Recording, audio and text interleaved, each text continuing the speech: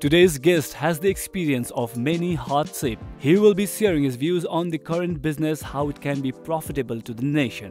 He will even be sharing the pros and cons of his recent mobile business. So, ladies and gentlemen, let's welcome the chairman of Dhimal Group, Mr. Bal Kumar Dhimal. भर्खरै मोटा सर्ट हेर्नुभयो we have the chairman of DG group Dimal in our show today. Hello, ladies and gentlemen. I'm your host, Shalu Thamang, back again in Workmania, only in Yoho TV HD. So let's welcome our guest, Mr. Balkumar Dimal in our show.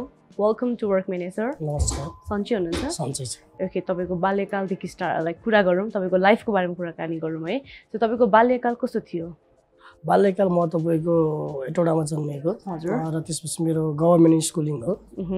त्यसपछि तपाईँको मैले अब स्कुलिङको time सिद्धिएपछि म SLC दिएपछि तपाईँको काठमाडौँ तपाईँको in गरेँ। हजुर। र त्यसपछि यहाँ आएर तपाईँको स्टडी सँगसँगै आफ्नो तपाईँको चाहिँ कामहरू सुरु गर्दै गएँ त्यो हुँदाखेरि तपाईँको ओभरअलमा बाल्यकाल यस्तै।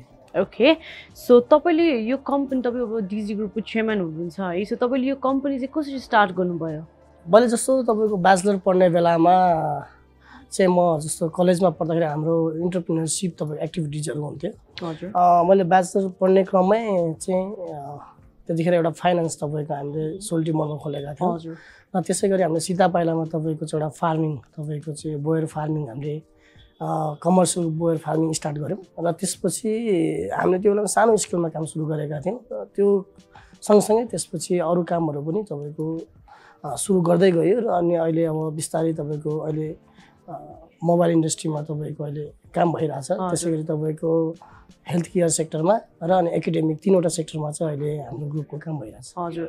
सो आई वाज तपाईँलाई मैले सोध्नु पनि आँटेको थिएँ कि इन्टरनली भन्नुपर्दा चाहिँ डिजी ग्रुपमा के के इन्क्लुड छ भनेर भन्नु नै क्वेसन चाहिँ मैले रेडी पारेको थिएँ। सो एकाडेमिक हेल्थ एन्ड मोबाइलको बारेमा है। सो तपाईँले चाहिँ यो तिन like how did you come up with तपाईँले यो अब यो तिनटै सेक्टरलाई चाहिँ मैले यो डिजी ग्रुपमा कसरी लाइक म्यानेज गर्नुहुन्छ त? यस्तो छ हेर्नुहोस्। अब यो टाइमिङमा तपाईँको डिपेन्ड गर्छ। जस्तो अब मेरो धेरै टाइम तपाईँको चाहिँ मोबाइलमै तपाईँको बढी छ र मोबाइलमा तपाईँको इन्भेस्टमेन्टको हिसाबले पनि बढी छ। त्यो हिसाबले। गर्दाखेरि टाइमिङ यता हुन्छ र रिमेनिङ अरू बिजनेसहरू तपाईँको चाहिँ एउटा अटोमेटिक तपाईँको अटो पाइलट सिस्टममा तपाईँको छोडिएको छ त्यहाँ म्यानेजमेन्ट छ र टाइम टाइममा तपाईँको मैले त्यहाँ तपाईँको चाहिँ अब्जर्भेट गर्छु यसरी okay sir so academic health and mobile बाहेक चाहिँ तपाईँले फ्युचरमा डिजी ग्रुपमा के के इन्क्लुड गर्न चाहनुहुन्छ? यस्तो छ अब एक्ज्याक्टली अहिलेको टाइमिङमा यही भनेर भन्न सकिँदैन तर अब मार्केटको रिक्वायरमेन्ट के हुन्छ? अपर्च्युनिटी कहाँनिर तपाईँको चाहिँ अराउज हुन्छ होइन? त्यसलाई ग्राप गर्ने हो होइन? अहिले भन्दाखेरि तपाईँको जस्तो मोबाइल इन्डस्ट्री नै तपाईँको अझै यसमा तपाईँको धेरै स्कोप छ र मलाई अझै यसमै नै अझै बढी गर्ने मेरो हजुर सो आई थिङ्क डिजीको फुल फर्म चाहिँ धिमाल ग्रुप नै होला सायद। सो तपाईँले ओके मैले ठ्याक्क गेस गरेको थिएँ किनभने डिजी भन्ने बित्तिकै तपाईँको सरनेमसँग ठ्याक्क म्याच भयो। ओके सो कति एजबाट चाहिँ तपाईँले तपाईँ बिजनेसतिर लाग्नुभयो?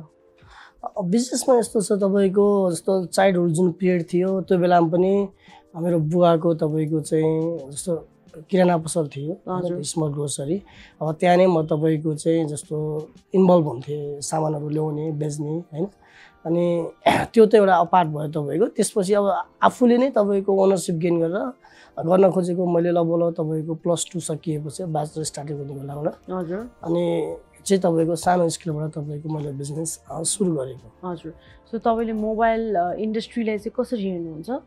मोबाइल इन्डस्ट्री आजको दिनमा हेर्नु पर्दाखेरि यो एउटा जेनेरेसन तपाईँको चेन्ज हुने खाले तपाईँको इन्डस्ट्री छ होइन हिस्ट्रीलाई तपाईँले हेर्नुभयो भने पनि एउटा टाइम फ्रेम छ जुन तपाईँको ओभरअल तपाईँको सोसाइटीलाई नै तपाईँको चेन्ज गरेको होइन जस्तो स्टार्टिङमा हामीले कम्पास घडी होइन। हजुर। जुन तपाईँको चाहिँ इनोभेसन भयो त्यतिखेर एउटा जेनेरेसन चेन्ज भएको थियो।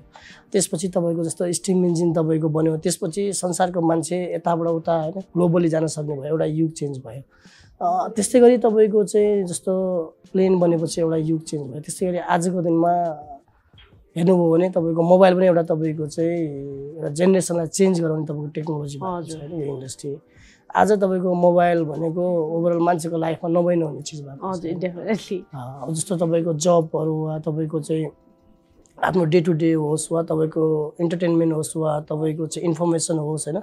एभ्रिथिङ यु क्यान होइन get from the IT. Sector mobile so. त्यसैले अब यो तपाईँको चाहिँ एउटा भनौँ न तपाईँको एउटा चेन्ज गर्ने तपाईँको चाहिँ जुन सोसाइटीलाई चेन्ज गर्ने खालि तपाईँको इन्डस्ट्रीको रूपमा हजुर ओके सो तपाईँले चाहिँ अब मोबाइल इन्डस्ट्री भनेपछि अभियसली डिस्ट्रिब्युसन त भइ नै हाल्छ होला। सो कुन कुन ब्रान्डको डिस्ट्रिब्युसन गर्नुहुन्छ र कुन कुन प्लेसमा गर्नुहुन्छ?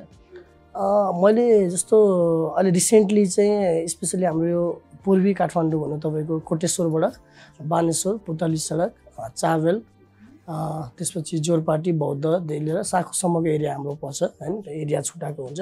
त्यो एरियामा अहिले साओमी ब्रान्डको तपाईँको सर्टेन पार्टको लागि त्यसै गरी तपाईँको रियलमीको यो एरियाको लागि गरेको छु। त्यसै गरी तपाईँको चाहिँ हामीसँग आइटेल भन्ने छ तपाईँको ब्रान्ड। उसको पनि मैले डिस्ट्रिब्युसन गर्छु टेक्नो भन्ने छ। त्यसले गर्दाखेरि मसँग लगभग लगभग लाभा कम्पनीको भयो चार पाँचवटा कम्पनीको तपाईँको अहिले डिस्ट्रिब्युसन गरिरहेको छु। र अनि त्यसपछि मेरो आउटलेटहरू पनि छ तपाईँको। जस्तो हाम्रो केएल टावरको तपाईँको ग्राउन्ड फ्लोरमा केएल मोबाइल हब भन्ने छ। त्यस्तै गरी हेटौडामा तपाईँको डिजी मोबाइल इन्भेस्टमा भर्खरै तपाईँको अब ओपनिङ हुँदैछ अब यो नेक्स्ट अब भ्यालेन्टाइन डेको दिन ओपनिङ छ। हजुर। त्यसै गरी मेरो कोटेश्वरमा छ तपाईँको एउटा आउटलेट एउटा बानेश्वरमा छ। हजुर। तपाईँले चाहिँ अब अहिले धेरै ठाउँमा तपाईँको ब्रान्चहरू पनि इज द्याट ब्रान्च ओर होइन तपाईँको आउटलेट कम्पनीहरू फरक फरक छ। हजुर हजुर। तपाईँको फर्म फरक हुन्छ तर. तपाईँ सबै डिजी ग्रुपको हुन्छ। ओके। सो तपाईँलाई चाहिँ अब आफूले नै डिस्ट्रिब्युट गर्दाखेरि कस्तो फिल हुन्छ र तपाईँको अब फर्स्टमा बिजनेस तपाईँले इस्टाब्लिस गर्दाखेरि तपाईँको ओभरअल एक्सपिरियन्स कस्तो छ? सेयर गरिदिनुहोस् न। यस्तो छ तपाईँको अब बिजनेस हेर्नुहोस् यो एउटा अनसर्टेन इन्भाइरोमेन्टमा गर्ने तपाईँको चाहिँ वर्क भयो होइन। यसमा तपाईँको चाहिँ रिस्कका फ्याक्टरहरू पनि छ। त्यसै गरी यो बिजनेस तपाईँको चाहिँ अलिकति हाई भोल्युमको इन्भेस्टमेन्ट हुने बिजनेस हो ऱ्यापिड तपाईँको टेक्नोलोजी चेन्ज हुने होइन। अब आफू डे टु डे तपाईँको चाहिँ पल्स अफ टाइम पनि तपाईँको चाहिँ इन्फर्मेसन ग्यादर गर्नुपर्छ अदरवाइज आफू ब्याक भइन्छ होइन। त्यो हिसाबले गर्दाखेरि तपाईँको चाहिँ यो ओभरअलमा तपाईँको चाहिँ इन्डस्ट्रीमा तपाईँको च्यालेन्ज पनि त्यत्तिकै छ र। अपर्च्युनिटी पनि त्यत्तिकै छ होइन। त्यो कारणले गर्दाखेरि यसमा तपाईँको जस मैले जे गर्न सक्छु त्यसमा म अब ओके सो तपाईँले फिल्डमा आउँदाखेरि फर्स्टमा अलिकति स्ट्रगल कति कतिको भयो कतिको गाह्रो भयो? किनभने जे कुरामा पनि अलिकति ग्रो हुन त टाइम लाग्छ। डेफिनेटली गाह्रो मिहिनेत त अभियसली नै पर्छ। सो तपाईँले चाहिँ कसरी यसलाई यहाँसम्म पुऱ्याउनु भयो? स्टार्टिङमा मैले जस्तो यो बिजनेसमा इन गर्ने बेलामा नर्मली यो बिजनेसमा एक्सपिरियन्स नभइकन तपाईँको चाहिँ इन गर्न गाह्रो छ। टेक्नोलोजीको। बिचमा। म पहिला यो फिल्डमा थिइनँ। र सर्टेन मैले चाहिँ पार्टनरसिपमा तपाईँको यो फिल्डमा म तपाईँको इन्ट्री गरेँ। र त्यसपछि मैले यो मार्केटलाई बुझ्न पाएँ यो इन्डस्ट्रीलाई बुझ्न पाएँ यसको ट्रेनहरू मैले एनालाइज गरेँ होइन। र यसको अपर्च्युनिटीहरू पनि मैले तपाईँको जुन क्लियरली देखेपछि अनि त्यसपछि मैले वान बाई वान तपाईँको होइन जस्तो तपाईँको फर्स्टमा म तपाईँको चाहिँ आइटेल र टेक्नो तपाईँको दुईवटा ब्रान्ड लिएर स्टार्टिङ गरेको थिएँ डिस्ट्रिब्युसन फिल्डमा। त्यसपछि मैले तपाईँको वान बाई वान तपाईँको चाहिँ लाभा त्यसपछि गएर तपाईँको चाहिँ अनर त्यसपछि गएर तपाईँको जिबी होइन? र यावत मोटरोला भयो होइन। ब्रान्डहरू एड गर्दै गएँ। त्यो अनुसारको तपाईँको इन्भेस्टमेन्ट पनि बढ्दै गयो एरिया पनि बढ्दै गयो होइन? त्यो हिसाबले तपाईँको चाहिँ अब च्यालेन्ज त छ हेर्नुहोस् होइन? किनकि हामी जस्तो एउटा मिडियम क्लासको मान्छे होइन? इन्भेस्टमेन्टको तपाईँको रेस्ट्रिक्सन हुन्छ। त्यसपछि तपाईँको प्लेटफर्म एउटा कुरा भयो अर्को कुरा तपाईँको नेटवर्कको कुराहरू आउँछ होइन? यो ओभरअल सबैलाई ब्यालेन्स गरेर तपाईँको जानु च्यालेन्जै छ होइन? तर यसको मतलब यो होइन कि तपाईँको इम्पोसिबल चाहिँ होइन यसलाई तपाईँको यदि हामीले कन्टिन्युस इफोर्ट गऱ्यो भनेदेखि अभियस एचिभ गर्न सकिन्छ All right, ladies and gentlemen, let's go for a short commercial break. Keep on watching Workmania only on New TV HD.